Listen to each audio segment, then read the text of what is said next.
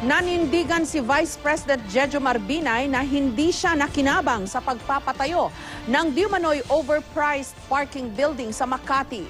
Giit niya sinisiraan lang daw siya at ang kanyang pamilya sa ginagawang investigasyon ng Senado para raw maisulong ang ambisyon ng ilan. Pero ang ilang senador nakukulangan pa rin daw sa mga paliwanag ni Binay. May report si Sandra Aguinaldo. Sa kanyang press conference kanina, sinabi ni Vice President Jejo Marbinay na ang investigasyon ng Senado kaugnay sa umunay maanumalyang Makati Parking Building o Makati City Building 2 ay nakatuon umano para siraan siya at ang kanyang pamilya at isulong ang sariling karera sa politika ng ilang kasama sa pagdinig. Bakit nila ngayon ginagawa ang paninira sa? Dahil sa impormasyon na malapit nang magsimula ang survey sa isang linggo, meron naman survey, gusto nilang maapektuhan ang kanilang mga paninira, ang suporta sa akin ng taong bayan. Puna ni Binay, malaya nakapagsalita ang mga nag-aakusa sa kanya at sa anak na si Makati City Mayor Junjun Binay habang binabaliwala umano ang anyay mga ebidensyang hindi overpriced ang gusali.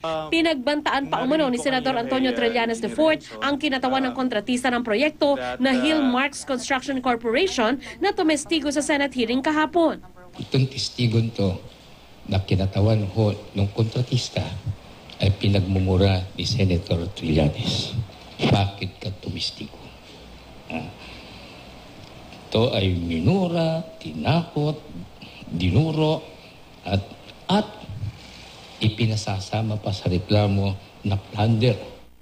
Sagot naman ni Trillanes, Kung meron man, ang tanong dito, paano nalaman ni Vice President? Ibig sabihin, nagko-connive sila?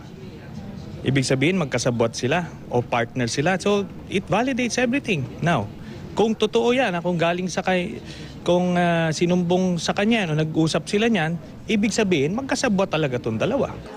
Tumanggi naman magbigay ng pahayag ang pamunuan ng Hillmarks dahil hindi raw nila napanood ang press conference ni Binay.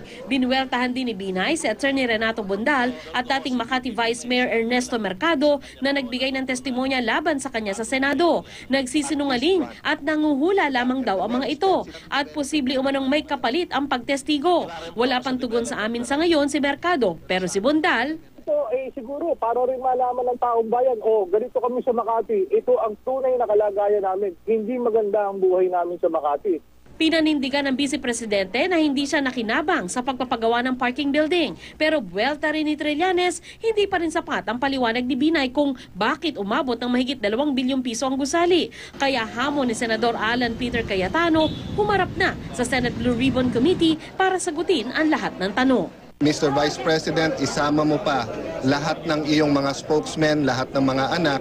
Welcome naman silang manood. Pero ikaw magpaliwanag dito sa committee at sagutin mong diretso ang mga tanong. Kung sakali pong may matanggap ako, tingnan po natin ang pagkakataon sa panahon ng aking pagtanggap. Sandra Aguinaldo, GMA News.